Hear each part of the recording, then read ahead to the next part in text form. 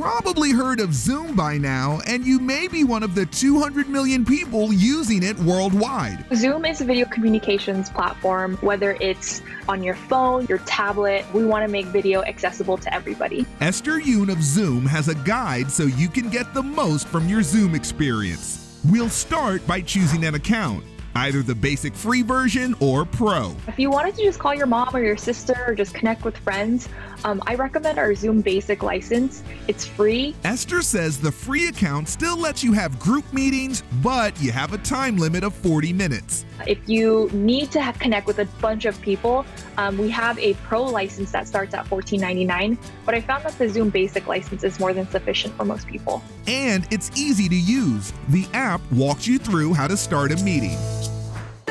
We're dressing those meetings up at number two with virtual backgrounds because who knew we'd all need home offices? I'm in my guest bedroom. It has hideous green walls and it's absolutely messy. It was like my storage room. This was really the only place I could work quietly and um, having virtual background just gives me the peace of mind that you know you're not looking at what's behind me you're focusing on what I have to say. Just go to your settings, click virtual backgrounds, and choose from what Zoom offers, or you can download a variety of free backgrounds from Shutterstock.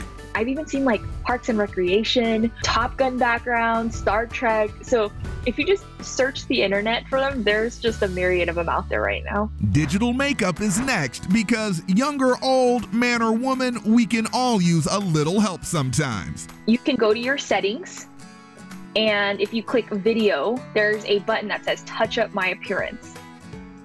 So you could see it's very, very subtle. It's off and it's on. It's like when you have that little under eye baggage that you're like, ooh, I don't feel that confident. You know, this just polishes you up a little bit, gives you that extra like rah rah so you can turn on your video for those 7 a.m. meetings. We'll tie a bow on our Zoom prep with security. No one wants uninvited guests. There are settings that you can, uh, you know, make sure are on for your meetings, such as waiting room or having a password. This ensures that only the people you invite can get on the meeting. You can protect yourself and, and minimize any potential disruption. For more info, Esther says to visit blog.zoom.us for tips on everything from security to appearance. We're staying in touch, miles apart, and zooming into a new world of get togethers.